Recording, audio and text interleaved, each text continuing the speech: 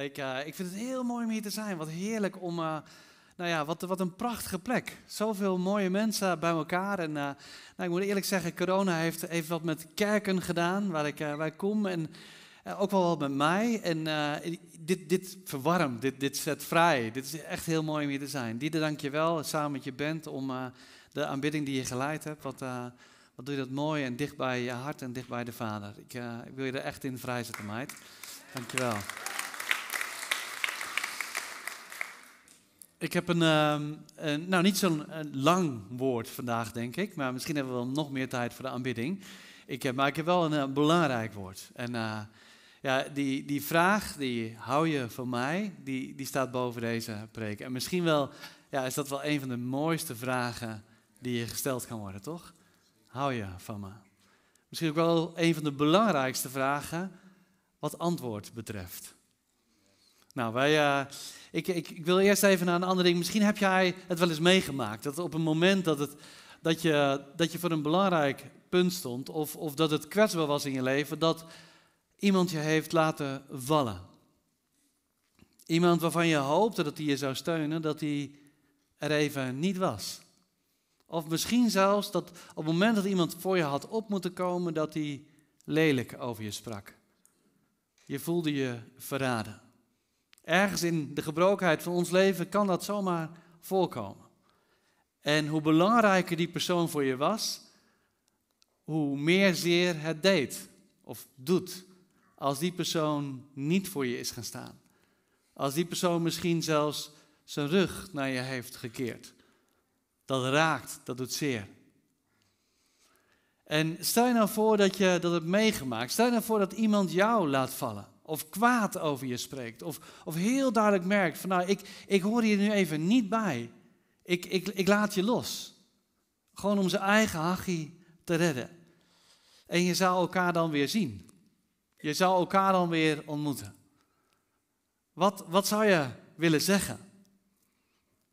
Wat zou je willen vragen aan diegene? Of zeg je, laat maar. Ik zou iemand hoef of wil ik eigenlijk helemaal niet meer spreken. Dat is, dat is heel begrijpelijk, want dat doet zeer. En, en opnieuw verbinden vraagt om kwetsbaarheid. Vraagt eigenlijk de moed van je, je kunt opnieuw weer die pijn gaan voelen, of misschien nog wel heftiger. Dus je kunt je terugtrekken. Hoe zou dat eigenlijk werken bij God? Stel je voor, je laat, je laat God even aan de kant staan. Er zijn momenten in je leven dat je zegt van nou, nu even niet. Je, je, je keert je eigenlijk even van hem af, want dat komt op dat moment echt beter uit. Het is op dat moment niet fijn om namens God of met God daar te zijn. Het ontneemt je de ruimte of het ontneemt je een bepaalde kans en je kiest ervoor om God even aan de kant te zetten. Om even te leven alsof je niet van Hem bent. Hoe werkt dat eigenlijk als je God verraadt? Als je je rug naar Hem toekeert, als je geleefd hebt zonder Hem. Hoe, hoe zou dat zijn? Wat zou God tegen jou willen zeggen als Hij op dat moment weer naast je komt of tegenover je komt? Wat verwacht je eigenlijk dat, dat God zegt als Hij jou in de ogen kijkt? Na zo'n zwak, beroerd moment. De kans is groot dat wij, dat wij vanuit ons denken, denken te weten hoe God reageert. Wij denken misschien wel dat het in de hemel is zoals wij het hier op aarde kunnen voorstellen. Dat de patronen zoals bij ons gegaan is, zoals, zoals ons is meegegeven als we faalden, dat, dat het ook wel zo zal gaan. En misschien ergens diep van binnen ben je ook wel bang voor die ogen van God. Dat als hij uh, na een periode in de ogen kijkt, dat je denkt, ja, ik denk dat hij me eigenlijk wel eens flink de waarheid zou willen zeggen. Of misschien zegt hij, laat maar, het hoeft nu niet meer. Hoe zit dat eigenlijk? We lopen het risico om te denken dat het in de hemel is zoals het op de aarde gaat. En God die wil dat eigenlijk precies andersom. Want hij weet dat het hier gebroken is. Hij weet dat we hier te maken krijgen met teleurstellende relaties. Of dat je patronen aangeleerd krijgen die niet van de hemel zijn, maar die voortkomen uit gebrokenheid en pijn. Dus dat je zelf bent gaan, gaan, jezelf ook bent gaan inschatten op de waarden die andere mensen je aan toekennen. Of je vrijmoedigheid baseert op, op dat wat jij ervan maakt. In hoeverre jij voldoet. Of in hoeverre andere mensen daar belonend over spreken. Wij bidden, Heer, laat het op aarde zijn zoals het in de hemel is. En dat is Gods verlangen. Dat is het, dat is het gebed wat Jezus zelf heeft geleerd. Hij heeft gezegd, bid de Vader maar dat de hemel op aarde komt. God is niet zoals jij denkt, maar God wil dat jouw denken wordt zoals Hij is. Het is echt een omdraaiing. God is niet zoals jij denkt dat Hij is, maar Hij wil dat jouw denken wordt zoals Hij is. Hij is, het is hier op aarde, mag het worden zoals het in de hemel is. Het is niet in de hemel zoals het hier op aarde gaat. Dus het van belang is dat we af en toe de hemel bekijken. Dat we zeggen, maar zo is het en zo mag het hier zijn. En, en, en ergens heeft God dat verlangen zo diep dat hij Jezus gaf. Hij zegt, in die gebrokenheid, waar mensen elkaar dingen aandoen, waar je in patronen wordt gezogen die niet vrijzetten, die je niet vrijmoedigheid geven, die eigenlijk altijd een bepaalde druk op je leggen. Ik geef Jezus, want zegt, zegt de Heer, als je Jezus hebt gezien, dan heb je mij gezien. We lezen straks een gedeelte uit Johannes. En Johannes begint zijn evangelie met dat te zeggen. In het eerste hoofdstuk van Johannes staat: Als je mij gezien hebt, dan heb je de Vader gezien. Heb je Jezus gezien, dan, heb je degene, dan, dan, ken je, dan ken je Vader. Dus heel belangrijk om goed naar Jezus te kijken. Om te kijken hoe reageert Hij. Wat zegt Hij, wat laat Hij zien. Nou, vanuit dat verlangen gaan we lezen in Johannes 21 zodat we iets van de hemel zullen zien wat hier op aarde is gebeurd. Jezus bracht de hemel op aarde. En niet alleen voor toen, maar dat wil hij vanmorgen ook weer doen naar jou toe. Ik had gevraagd of uh, hoofd, uh, vers 15, uh, vanaf vers 15 tot en met 17 op het scherm. Ik wil iets meer lezen, gewoon dat we de context ook iets beter staan. Prachtig dat jullie gaan staan. Ik lees eerst een stukje voor en dan lezen we samen wat er op het scherm geprojecteerd staat. Hierna verscheen Jezus weer aan de leerlingen. Prachtig hè, dat God keer op keer verschijnt. En dat is iets wat we vanmorgen ook mogen verwachten, want dit is het hart van God. Vanmorgen verschijnt God weer aan zijn leerlingen, aan jou. Hij komt gewoon weer tevoorschijn. Nou, daar en toen ging het als volgt. Dat gebeurde als volgt, staat er in Johannes 21. Bij het meer waren Simon Petrus en Thomas, dat betekent een tweeling, Thomas, Nathanael uit Cana in Galilea, de zonen van Zebedeus en nog twee andere leerlingen bij elkaar. En Petrus zei, ik ga vissen. Jezus is net gestorven, hij is weer opgestaan, maar in ieder geval hun bediening, hun ritme, hun gewoonte, dat is eraan. Het gaat niet meer zoals het ging en het wordt ook niet meer zoals het was. Dus ergens is er verwarring. Hoe zal het gaan? En Petrus zegt, nou ik weet wat ik kan, ik weet wat ik mooi vind, ik ga vissen. Dat ga ik gewoon weer doen. En de andere zei, we gaan met je mee, zeiden die anderen. Ze stapten in de boot, maar de hele nacht vingen ze niets. En toen het al ochtend werd, stond Jezus op de oever, al wisten zij het niet dat het Jezus was. En hij riep, hey, hebben jullie soms misschien wat te eten? Nee, antwoordden ze. Gooi het net aan stuurbord uit, riep Jezus. Dan lukt het wel.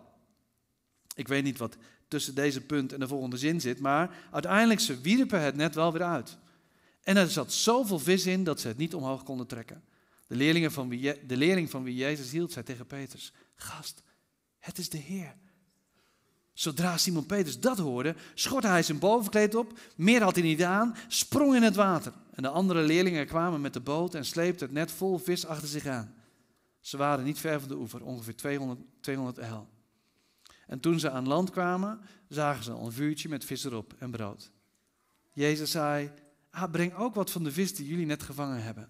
En Simon Petrus ging weer aan boord en trok het net aan land. Het zat vol grote vissen, wel geteld 153. En toch scheurde het net niet. Jezus zei tegen hen, kom, eet iets. Geen van de leerlingen durfde hem te vragen wie hij was. Ze begrepen dat het de Heer was. Jezus nam het brood en gaf er ervan en gaf hen ook het vis. En het was al de derde keer dat Jezus aan zijn leerlingen verscheen nadat de dood was opgestaan. En toen ze gegeten hadden, nu het gedeelte waar we straks over doorgaan. Toen ze gegeten hadden, Jezus Simon Petrus aan. Simon, zoon van Johannes, heb je mij lief, meer dan de anderen hier? Petrus antwoordde, ja heer, u, u weet dat ik van u hou. Hij zei, wijd mijn lammeren. En nog eens vroeg hij, Simon, zoon van Johannes, heb je mij lief? Hij antwoordde, ja heer, u weet dat ik van u hou. Jezus zei, hoed mijn schapen. En voor de derde keer vroeg hij hem, Simon, zoon van Johannes, hou je van mij? Petrus werd verdrietig omdat hij het voor de derde keer vroeg of hij van hem hield. En hij zei, Heer, u weet alles. U weet toch dat ik van u hou. Jezus zei, wijd mijn schapen. Waarachtig, ik verzeker je, toen je jong was, deed je zelf je gordel om en ging je waarheen je wilde. Maar wanneer je oud wordt, zal een ander je handen grijpen, je gordel omdoen en je brengen waar je niet naartoe wil. En met deze woorden duidde hij aan hoe Petrus zou sterven tot eer van God. En daarna zei hij, volg mij. Dit is het woord van God.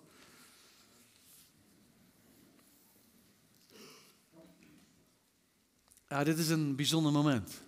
Ze zijn bij elkaar en nou, het is een verwarrende tijd geweest. Verwarrend door wat met Jezus gebeurd heeft, is, maar ook verwarrend omdat ze ervaren hebben wat het met hen deed. Ze, ze dachten, we zijn, we zijn vrienden en we zijn op weg naar meer en beter en grootser. En opeens was daar dat onverwachte voor hen toch nog dat lijden en sterven van Jezus. En Jezus had, had hen nodig gehad. Jezus had, had hen gevraagd van jongens, hij weet het nog, hè? Simon, Petrus, Johannes, Jacobus, zullen jullie met me mee willen? Ik ben bang. Ik ben super bang, had Jezus gezegd. Willen jullie met mij waken en bidden? Nou, cool, dus we waren met z'n drieën met hem meegegaan. Ze snapten het niet helemaal, maar voordat ze het wisten lagen ze te pitten. Terwijl Jezus zijn doodstrijd streed. Jezus had hem wakker gemaakt en hij had gezegd, jongens, ik heb het nodig. Wil je, wil je er voor mij zijn? En weer hadden ze slapen. Weer hadden ze zichzelf teleurgesteld. En toen kwamen, kwamen de vijanden van Jezus, zwaarden en speren. Jezus die nooit een zwaard in zijn handen had gehad. Die nooit iemand kwaad had gedaan. Die werd ingerekend alsof het een misdadiger was. En verward hebben ze staan toe te kijken. Maar ook heel snel zijn ze gevlucht. Jezus werd, die leed in zijn eentje, werd gevangen genomen en niemand ging voor hem staan. Ja, ze denken daar nog met regelmaat aan terug. Wat een losers zijn we geweest op dat moment? Waarom ben ik niet gewoon met hem blijven staan? Ah, en Petrus in het bijzonder, joh.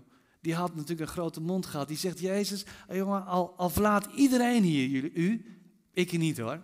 Ik zal met u sterven. Dat had Petrus gezegd. En hij had misschien toen ook nog wel de e-, groep even rondgekeken. Zo van, jongens, je weet het hè. Ik ben hier wel degene die er echt voor gaat. En, en Jezus had toen zijn hoofd geschud. En Petrus, op het moment dat Jezus geslagen werd, verraden en vernederd, toen werd hem gevraagd van Petrus. Hoor jij niet bij die Jezus? Waar heb jij het over? Had hij gezegd. Hoezo? Het kwam eruit voordat hij er erg in had. Maar hij had een afslag genomen. Hij was niet gaan staan. Hij had niet de moed gehad. Hij had zich verstopt. Hij was bang. Hij zegt: Nee, nee, ik, ik hoor niet bij hem. En even later dacht iemand, ja, maar wacht even, je, je hoorde wel bij Jezus. Gast, ik ken hem helemaal niet. Ik ken hem niet. Waar heb je het over? En dan een derde keer kwam het erop aan. En dan staat er in Marcus dat hij vloekte. Eh, hij, hij zette het echt kracht bij. En hij zei, in godsnaam, ik ken die beste man niet. Waar heb je het over? En toen hadden de blikken van Jezus en Petrus elkaar gekruist. Ach, wat een awkward moment om, om te barbecuen met Jezus. Daar zit hij dan. Jezus heeft kibbeling in overvloed. En Petrus, die zit daar. Ah, knoop in zijn maag. En de andere discipelen, die, die zien dat toch een beetje gebeuren. En denk, nou, ben benieuwd. Met zijn grote bek. Kom maar op, Petrus. Ja, ze hebben er niet voor niks allemaal in een evangelie geschreven. Wel even lekker om Petrus op zijn nummer te zetten. Altijd zijn grote mond. Nou, dit vertellen we ook even. Elke evangelie vertelt het. Nou, en Petrus heeft het ook niet heel makkelijk mee hoor.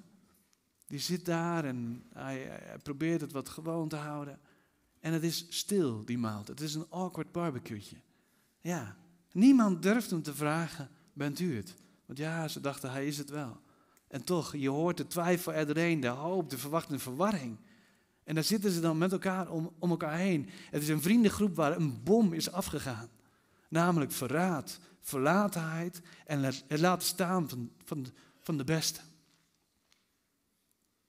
Nou, ik weet niet hoe de vis gesmaakt heeft. Maar aan het eind van de maaltijd, dan opent Jezus het woord. En Jezus nu vragen. En dan komt de vraag Petrus. Petrus, hou je van mij? Wow, die had er niet zien aankomen. Hij had misschien al wel zijn praatje klaar. Hij had misschien al wel gedacht van ja, hoe, hoe ga ik me hier uitkletsen? Uh, misschien moet ik een heel diep sorry zeggen.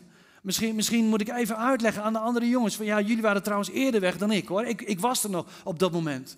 Ik, ik weet niet wat, wat hij had willen zeggen. Wat hij had willen. Maar misschien had hij wel wat voorbereid. Maar deze vraag, die had hij niet aanzien komen. Petrus, hou je van mij? En Petrus die, die, die stundelt wat en die zegt, ja, ja heer, ik, ik hou van u. En dan is, het, dan is het mooi om in de grondtaal, in het Grieks, daar, daar, daar worden verschillende woorden gebruikt die de diepte van dit gesprek ook wel een beetje aangeven. Jezus, de eerste vraag die Jezus stelt is aan Petrus, Petrus, heb je mij agape? Dat is, dat is, heb je mij zo lief dat je alles voor mij wil geven? Hij herinnert hem misschien wel aan de woorden die Petrus gebruikt heeft. Meer, en dan vraagt Jezus ook, heb je mij agape meer dan deze? Dus even terugkomen op je eigen woorden, Petrus. Heb je mij lief met die radicale liefde die ik eigenlijk van je verlang? En heb je dat, eh, ga je er inderdaad boven deze anderen uit? En dan antwoordt Petrus, maar hij neemt dat woord agape niet in de mond. Dat is te groot. Dat, dat durft hij even niet te zeggen. Petrus, heb je mij agape? En dan zegt Petrus, Jezus, ik heb u filia. Ik, ik hou van u zoals vrienden dat doen. Ik hou van u zoals vrienden dat doen. En dan vraagt Jezus nog een keer, Petrus, heb je mij agape? Dus hij heeft niet meer meer dan deze. Hij maakt een stapje naar Petrus toe. Petrus, heb je me agape? Gewoon dat wat ik van je verlang, wat ik van je vraag. Wat ik jou wel hou. Hou je op dezelfde manier van mij als ik van jou hou. En nog durft Petrus niet daarin mee te gaan. En weer zegt Petrus, Jezus, ik hou van je. Filia. En dan, dan gaat Jezus nog een beweging, doet Jezus nog een stap naar Petrus toe. Petrus, is dat zo? Hou je mij? Hou je van mij? Petrus, heb je mij? Filia. Dan gebruikt Jezus hetzelfde woord als dat Petrus gebruikt. En Petrus drie keer, dat wordt je drie keer gevraagd. Dat is wel intens. Als je drie keer wordt gevraagd, hou je van mij? Kun je je voorstellen, hou je van me? Hou, hou je van me? En drie keer vertel je wat en, en ben je aan het worstelen. En, en Petrus die, die krijgt de tranen in zijn ogen. Dus hij wordt verdrietig. Dat Jezus het hem drie keer vraagt. Drie keer heeft hij hem verraden. Ik weet niet, is dit een openbaar herstel? Waar is op Jezus op uit? Maar drie keer, Peter, Jezus die wil uit dat, dat Petrus uit zijn hoofd komt. Uit, uit, uit zichzelf komt. Maar Petrus wil naar zijn hart toe gaat. En dan met tranen in zijn ogen zegt jij, Petrus, ja Jezus, u weet toch alle dingen. U weet dat ik van u hou. Dus Petrus heeft niet meer zoveel om op terug te grijpen. Je weet toch, Jezus, wat ik gedaan heb. Je weet toch, Jezus, wat voor commitment ik gegeven heb. Je weet toch, nee. Hij komt uiteindelijk maar terug naar zijn hart. Wat ondanks zijn gedrag gewoon daar wel is. En hij zegt, Jezus, ik hou van je. En dan vind ik het zo mooi. Dan, dan, dan, ik denk dat Jezus zijn arm om Petrus heen slaat. En zegt, Petrus, dat is goed man. En jij mag namens mij, mag je de wereld in en mij vertegenwoordigen. Wat een herstel. Wat een herstel. Kun je het je voorstellen? Jezus die vraagt naar, niet naar Petrus, wat heb je gedaan? Hij had zoveel vragen kunnen stellen aan Petrus die ik heel goed had kunnen begrijpen. Petrus, hmm, had je niet een iets te grote mond, jongen? Petrus, hoe kun je voorkomen dat het in de toekomst weer zo gaat?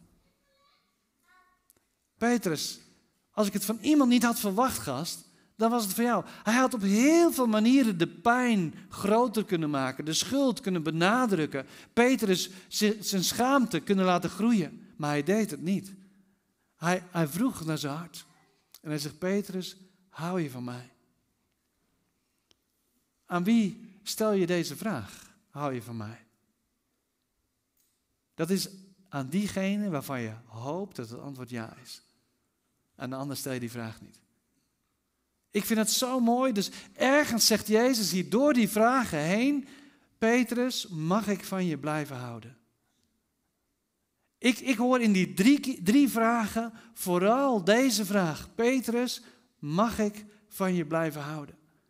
Hoezeer jij je ook tegen bent gevallen, hoezeer jij je misschien nu ook schaamt en, en misschien in je schuld je terug wil trekken en iets op wil bouwen om mij of jezelf niet meer te beschadigen. Ik vraag je, mag ik van je blijven houden? Wat een schitterende vraag. Zo'n zo'n doorbraakvraag.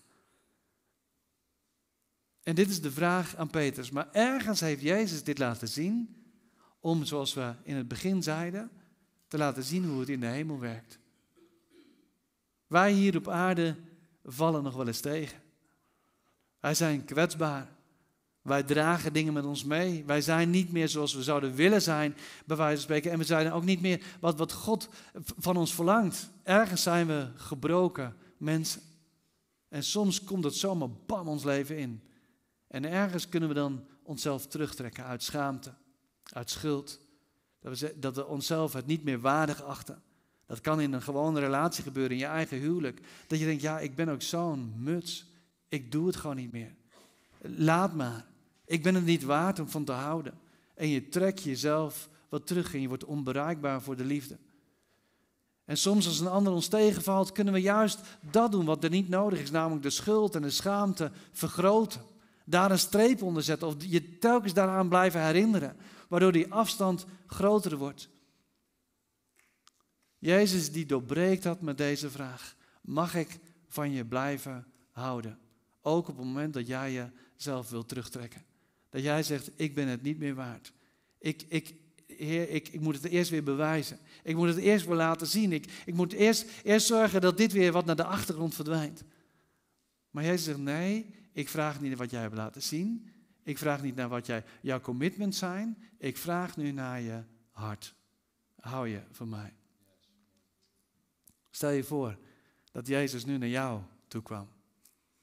Dat Jezus vanmorgen naar jou toe komt en je deze vraag voorlegt. Hou je van me? Wat gebeurt er bij jou? En ik wil vragen of de aanbidding wil komen. Dan, uh, want het is heel mooi dat we vanmorgen op deze vraag antwoord geven. Eh, ja, ja zeg je, dat is, dat is heerlijk. Die, die, die wil je. Ik denk dat het goed is om een moment te nemen dat het gaat Jezus om liefde. En ik vind het zo mooi, in deze gemeente hebben we, hebben die, die prachtige drieslag. Hou van God, hou van elkaar en hou van jezelf. En ergens, ik, ik denk dat Jezus daar een, een, een stap in maakt vanmorgen naar jou toe. Dat hij zegt, ik, ik vraag niet om je te bewijzen, ik vraag niet om je te vergelijken. Ik vraag je vanmorgen, hou je van mij.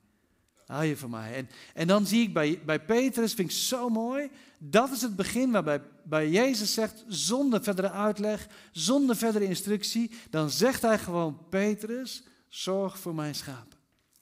Er zijn nog zoveel mensen, hier en buiten deze gemeente, die die, die liefde van Jezus niet kennen. Die die aanvaarding, die liefde die er is zonder dat je het verdient, die, waar ze nog geen kennis mee hebben gemaakt.